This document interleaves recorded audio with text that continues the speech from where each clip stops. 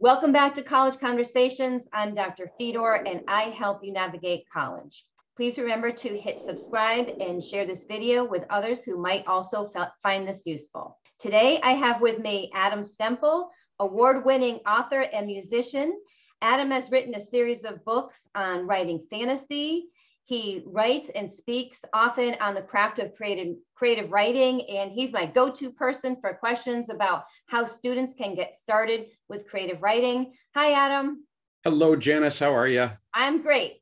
Great. Thanks for joining me. So, I want to start with how did you personally get started with creative writing? Writing's kind of the family business. And I grew up, uh, my mother's a writer and just grew up around uh, r- around writing. I, I, like to tell people I had kind of a Skinner-esque training in writing, and that a lot of kids keep journals, but my journals came, my nine-year-old journals came back with uh, uh, corrected in red pen with a prompt for the next day's writing. I don't, I don't recommend that for uh, for children, but you know, it worked for me. Right, right. Oh, that that's so funny.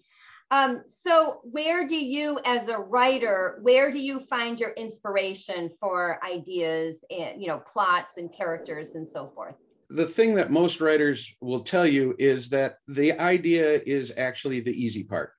Uh, there's ideas all around you every day, people you know, things you see, stories you hear, uh, ideas from history and science uh, and and art. But you know the hard part is actually writing them down. Uh, most writers have more ideas in a day than they can uh, write up in their lifetime. So the hard part is learning how to write them down and make them uh, make them actually into a story instead of just an idea so is it fair to say that your favorite process is the coming up with ideas part or what is your favorite part of the process the it's it's easier for me to outline my least favorite part of the process because okay. I enjoy almost everything about writing. Uh, thinking about the ideas, doing the world building, uh, plotting, uh, character work, uh, talking about writing, thinking about writing, critiquing other people's stuff, getting my stuff critiqued. I, I, I uh, the actual writing itself, whether it's you know a hundred words or a thousand words, whether it's a poem, short story, novel, any anything, I do all of those the the only part I don't like about writing, and it's it's largely because of the fear of transitions, is I don't like sitting down to write. That's the hard part. That's- Going from one state to another, the state of not writing to writing, that little transitional space is very difficult to navigate. That's that's very interesting. Do you have a goal like, okay, I'm going to write 100 words a day or a thousand words a day or, or something? Do you have a goal like that? I do. It, it changes, but uh, it used to be a thousand words a day. Generally, these days, I'm aiming for between 2,000 to 4,000 words a day. If I can sit down to write, and if I turn on some music with no lyrics, put my headphones on and sit down and write, I will write a thousand words if I'm working on something long form. I don't have to worry about that. So if I can do that twice during a day, then I've got my 2,000 words but there's also there's a lot of other stuff involved with writing there's a lot of connections to maintain between you know editors and co-writers marketing i do some i do some traditional publishing i do some self-publishing and in both of them the marketing of the stuff is largely just up to me so there's a lot of that so there's attention to various social media feeds uh, cover design all this there's a lot of uh, uh, tracking submissions of stuff i've generally got between 10 to 30 things out on submission and I have to keep track of those when, uh, you know when it comes in and stuff. So there's a lot of peripheral stuff that that has to happen besides the writing. So if I only write 500 words, but I dealt with a lot of that peripheral stuff as well, well then it's still a, a good day of work.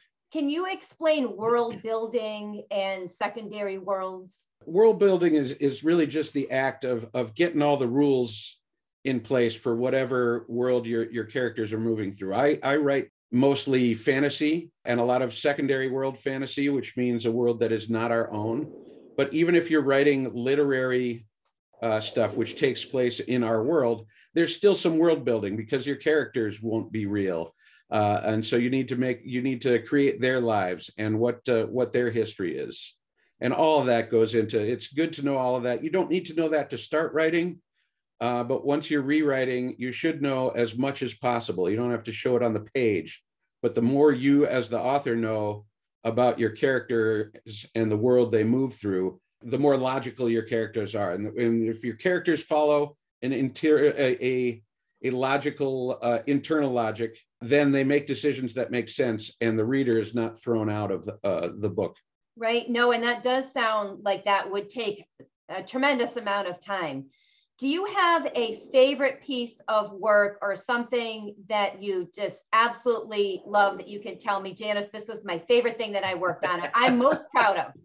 Oh, there's there's there's so many. The the the standard answer, which is standard because it's true, is that my favorite piece of work is the one I'm working on right now. I mean, that's what you're excited about, right. and that's what you're going. But when people ask me this question, my favorite right now is a, is a story that uh, came out in Clarkesworld, which is a science fiction and fantasy magazine, and it's a story called the clock having turned its face to the mirror still knows not the time. I really love it because uh, because it's a little different from a lot of the stuff i write. I write a lot of very active fantasy with you know with a lot of plotting and a lot of action and fighting and, and which i truly enjoy. But this story is a very quiet story. My my uh, my critique group said you know adam this has a uh, this story has a lot of quiet sadness to it. And usually when your characters are sad, it's because someone has taken an axe to their family member or something. Right. It's a, you know, it's a much more active sadness. And this has a so it's just it's kind of a different piece for me. And and in that way it kind of holds holds a special special spot for me. Adam, I see a couple of guitars in the background there. Yes. Is there a synergy between your career as a musician and writing? What what kind of synergy is there between the music and the writing? Very much so. Uh, I was a was a professional musician since about the age of 18 and a professional writer, you know, not so long after that. But for me, there's a synergy uh, and a correlation between all the art forms. When I was going to uh, school for graphic design, um, there was a, a, uh, a, drawing teacher who told me, uh, well, he told the whole class, in all great art, you will see three things at a high level it's uh, composition, con- concept, and technique. And that really struck me because he was talking about, uh, you know, about visual art and in all great visual art. But it really it, it crosses that line and goes over into every art form. You know, dance, music, uh, visual art, movies, uh, uh, writing, concept, composition, and technique. And the fun thing is that once you work, you, when you get to a, a real uh, professional level in any art form, you will have gotten very good at concept and composition. And when you switch to another one, really it's only the technique that takes the most amount of work. And of all the things, especially for college students, technique is the most teachable. It's not necessarily the easiest to learn, but it's the most teachable. There can be a real plan a step-by-step process to learning technique. Where you know how to hold a brush how what the notes are on a guitar where to put your feet if it's dance adam what advice can you give the students who are watching this about creative writing and and what what they should do to get started? Just write. You don't learn how to write you learn how you write. I've read upwards of 30 or 40 how to write books and I've I've written 3 myself how to write fantasy novels. The best of them simply tell you how that author writes, the tricks of the trade for them that work for them. And if they're really good, they tell you why they are doing that, what they're trying to accomplish. So you're you're here, you want to get here. The author says, "Here's what I did right. and here's why." And the important thing for the student is to look at that and go, okay, I too want to get here because of this, but I don't think this will work. What's an alternate path to, to achieve the same goal? Because every writer is different and every every process is different. I know very successful writers who write, you know, 200 words a day longhand. I know writers who who like if they write less than 10,000 words in a day, they're, they're lost. There are writers who plot, there's writers who don't plot. Outline, don't outline. Use stories, this story structure, this story structure, no story structure, all of it. And all of them are very successful and all of them write very uh, interesting things. So do you have like a giant whiteboard that you plot your ideas on or do you keep I, that all in your head? I I have a giant whiteboard uh, which currently the, the whiteboard really is for plotting uh, plotting out my life Sure. Oh, uh, and my work life. My method is fairly haphazard on it- it's really just taking notes in Word and then kind of trying to keep them together in one place. And I and I experiment every two, three years or so with some kind of with you know plotter. Is this plotting thing or an outlining program or Scrivener? My my kid uses Scrivener. My kid has a uh, creative writing degree Not surprising. and they yeah exactly. And they use scrivener. They love scrivener. And a lot of people use scrivener. But i've been doing my my own system for 30 years. So do i really want to spend you know Right. six months getting good at a system that is really just replicating what i'm already doing Right. but i i've seen those kind of tools work work wonders for other people and again it's how you write not how to write So that's great advice for the students. Adam, thank you again for joining me on College Conversations. Please remember to hit subscribe and share this video with others who might also find this useful.